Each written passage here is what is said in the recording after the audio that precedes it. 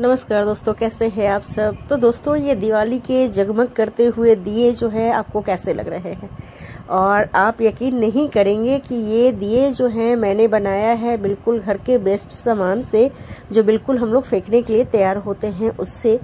ये, वो दिए हैं जो पुराने हो जाते हैं और हम लोग इसे फेंक देते हैं। और उनसे ही मैंने इतनी सुंदर सी, बिल्कुल रंगोली जैसी ही दिए बना के तैयार किए हुए हैं। तो ये जगमग करते हुए दिए जो हैं, हमारे जगमगाती हुई रात को, दिवाली के दिन, हमारे घर को बिल्कुल अच्छे से जगमगा देगी। और इसे बनाना बहुत ही आसान है। तो चलते हैं, देखते हैं कि इसे कैसे बनाया जाता है। तो सबसे पहले मैंने लिया है एक, जो ये प्लास्टिक का कंटेनर है, आप कोई भी बर्तन ले सकते हैं। और इसमें मैंने डाला है बिरला वाइट सीमेंट जो आता है, या कोई भी पुट्टी जो घर में आप यूज़ करते हो, आपने रखी हुई हो, उसे यूज़ कर सकते हैं। और नहीं तो ये मार्केट में आराम से तीस से चालीस रुपये के में मिल जाता है। तो मैंने वो पुट्टी लिया है अपनी ज़रूरत के अनुसार, और इसमें डाला है मैंने फेविकोल। तो इसमें दो से तीन बड़े चम्मच जो है, आप फेविकोल डाल सकते हैं और ये बहुत अच्छे से बाइंड होने के लिए इसके अंदर डालेंगे पानी। तो पानी भी हमें बहुत ज़्यादा नहीं डालना है और इसे अच्छी तरीके से हम लोग घोलेंगे तो बिल्कुल देखिए कितनी स्मूथ सा बैटर जो है हमारा रेडी हुआ है और बिल्कुल भी पतला नहीं है, ये बिल्कुल हल्का सा गीला है और लिया है मैंने। देखिए दिए हैं, जो पुराने दिए हैं और बीच में मैंने डाला है, हमारे यहाँ इसे ढक्कन कहते हैं। बिल्कुल कटोरे के साइज़ का ये बड़ा सा मिट्टी का मिलता है। और इसे मैंने बीच में रखा और किनारे से सारे दिए जो है, अच्छी तरीके से आप इसमें अरेंज कर दीजिए। तो आपको जितने भी दिए किनारे से लग रहे हों तो उतने आप इसमें बैठा सकते हैं। और बहुत सुंदर सा बन के रेडी होगा। जब आप इसे डालेंगे ना तो ये बहुत सुंदर सा रेडी होने वाला है।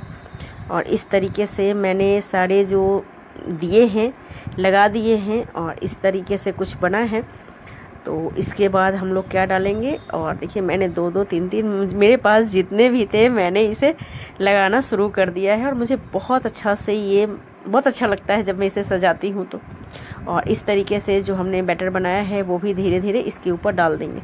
और बिल्कुल अच्छे से जो खाली जगह आपको जहाँ भी दिख रही हो, उस वाले सारी जगह में आप उंगलियों से या चाहे तो चम्मच से, लकड़ी से, कोई भी चीज़ से आराम से इसे थोड़ी से फैला दें। खाली वाले सारे जगह भर जाने चाहिए। अगर खाली वाले जगह नहीं भरे तो क्या होगा कि जब हम इसे उठाएँगे ना तो उस समय ये फ़सल कर आपके दिए हो सकता है अलग हो जाए। इसलिए इसे अच्छी तरीके से फैला लेंगे। आप चाहे तो इसे एमसिल से भी चिपका सकते हैं, लेकिन मुझे ये वाली आइडिया सबसे आसान लगती है, क्योंकि इक्वली सारे दिए जो है ना, बिल्कुल बहुत अच्छे से, बिल्कुल बराबर से जमते हैं साथ में तो ये बहुत अच्छे से और मुझे लगता है ये सबसे ज़्यादा अच्छा तरीका है। और दिए जो हैं वो मज़बूत भी हो जाते हैं, बिल्कुल टूटने का भी कोई टेंशन नहीं। एमसिल वाले में कभी कभी क्या होता है कि हाथ लगता है और टूट जाता है। तो इस तरीके से आप देखिए, मैंने साड़ी को डाल दिया था और दूसरे दिन सुबह मैं इसे देखने गई थी। मैंने तो इतने सारे डाले हैं कि आप भी बोलेंगे, अगर कितने सारे दिए बना लिए? और कम से कम इसे 12 से 14 घंटे तक यूँ ही पड़ा रहने दें। ये बहुत अच्छे से जमेगा, जिस दिन आपको बनानी हो, एक दिन पहले आप इस तरीके से इसे डाल दें और ये बहुत सुंदर सा जम जाएगा। इसके बाद आपको बिल्कुल भी इसमें परेशानी नहीं होगी। और जब आप अगले दिन इसे उठाएँगे तो इसके बाद आप देख कर बिल्कुल आश्चर्य हो जाएँगे, करिए, इतने सुंदर से ये सेट हुए हैं। तो मैंने उठाए और बहुत सुंदर से सेट हो गए थे। मैं इस समय रिकॉर्डिंग करना भूल गई थी उठाते समय, और मैंने उठाए बहुत सुंदर से। इस तरीके से जमे हुए थे तो मैंने सबसे पहले इसके अंदर इसको अच्छे से एक बार पानी डाल दिया है और इसके बाद इस पर मैं पेंट लगाना शुरू कर रही हूँ। तो मैंने सबसे पहले इस पर ये दिए पुराने हैं तो थोड़े से काले भी पड़ गए हैं तो मैंने इसलिए ही इस पर सफ़ेद पेंट सबसे पहले लगाया है। तो आप सब चाहे तो वाटर कलर यूज़ कर सकते हैं और चाहे तो आप पोस्टर कलर या इलेक्ट्रिक कलर जो आते हैं, वो यूज़ कर सकते हैं। तो आपके पास जो भी कलर यू हो घर में अवेलेबल हो उसे ही यूज़ करके आप इसे बनाएँ। तो बहुत अच्छे बनेंगे। और देखिए दिए जो थो, थोड़े से काले थे तो इसमें मैं थोड़े से सफ़ेद पेंट लगा के और सुंदर सा इसे जो इसका कलापन है वो दूर कर रही थी। और बहुत सुंदर से हमारे दिए जो हैं वो रेडी हो जाएँगे। और सारे दिए इस तरीके से ही रेडी होने वाले हैं। तो इस तरीके से मैंने इसके ऊपर प्राइमर जो है वो चढ़ा दिया इसे मैं प्राइमर कह रही हूँ। और इसके बाद जो हम लोग इसे सूखने देंगे और सूखने के बाद जो इस पे कलर आएगा दोस्तों, वो कलर बहुत सुंदर सा लेकर आएगा। आप देखिए कितने सुंदर से इस पे कलर चढ़ रहे हैं। तो इसे सूखने ज़रूर दें तो इसे एक से दो घंटे ज़रूर से सूख जाने दें। और इस तरीके से जब ये अस्तर वाली जो हमारी सफ़ेद पेंट है, वो सूखेगी तो बहुत सुंदर से आप अपने मनपसंद कोई भी कलर लगा सकते हैं। मेरे पास, घर में बच्चों के पास पड़ा हुआ था लाल तो मैंने इसे ही लगाना शुरू कर दिया। तो इस तरीके से घर में जो भी कलर हो, उसे ही आप यूज़ करें और इस तरीके से बहुत सुंदर से बनते हैं।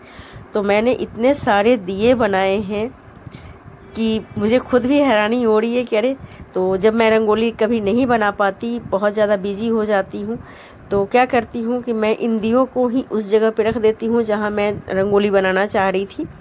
तो मेरा रंगोली का काम भी बहुत अच्छे से हो जाता है। जब आप इसे इस तरीके से बनाएँगे ना तो ये बहुत सुंदर से बन के रेडी हो जाएँगे।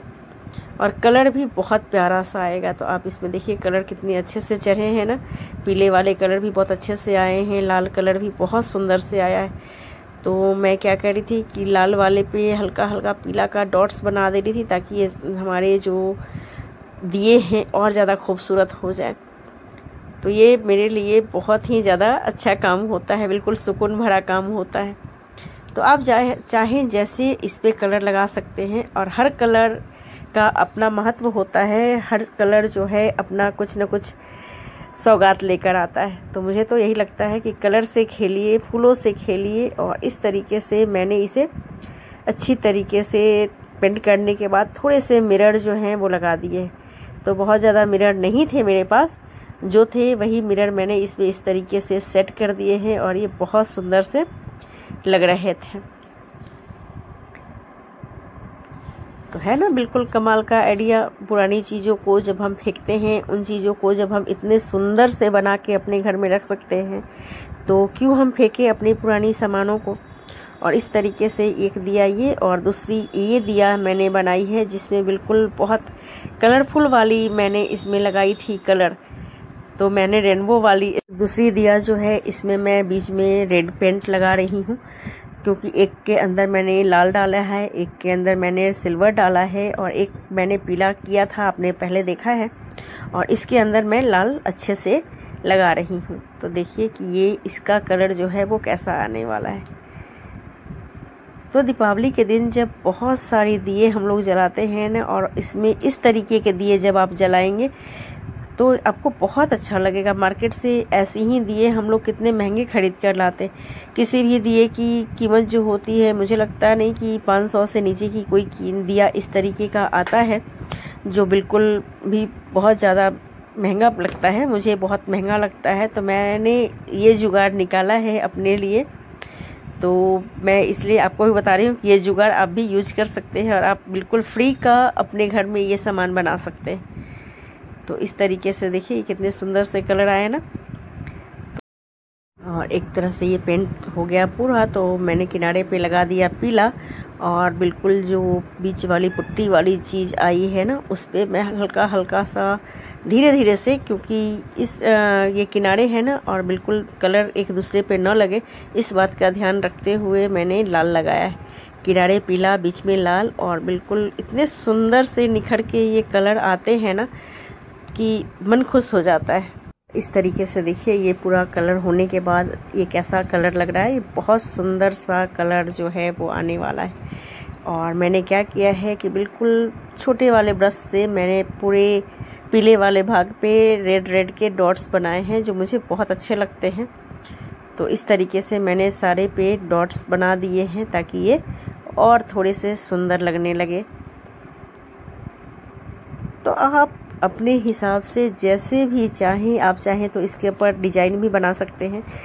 तो जैसे भी चाहें आप दियो को सजा सकते हैं और बिल्कुल आप जितना इसे सजाएँगे ना, वो आपके घर को और ज़्यादा सजा देगा। तो इस तरीके से दियो को जब आप सजाएँगे तो आप भी खुश और दिए भी मुस्कुराते हुए नज़र आएँगे। और मेरे पास थी एक छोटी वाली दिया, जो बिल्कुल बहुत ही सुंदर सी थी और मेरे पास कई सालों से है। और इस तरीके से तो मैंने इसे बीच में पीला, किनारे लाल और हरे और कलर में जब रंगा है ना तो ये बिल्कुल मुस्कुराता हुआ सा नज़र आने लगा है मुझे।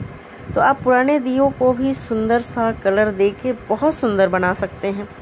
अगर आपके पास डिज़ाइनर दिए हों तो उसे आप ज़रूर से डेकोरेट कर ले, आपको बहुत अच्छा लगेगा।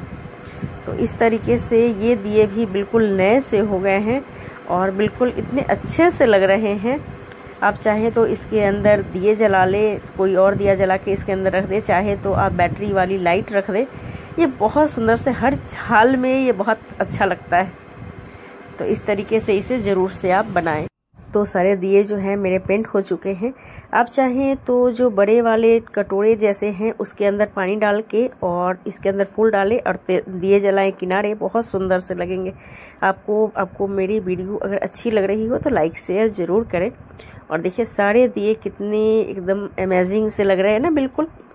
तो आप अपने हिसाब से इसे यूज़ कर सकते हैं। आप जैसे चाहें इसे यूज़ करके देखें और बहुत सुंदर से या तो रंगोली के तौर पे भी आप इसे रख सकते हैं।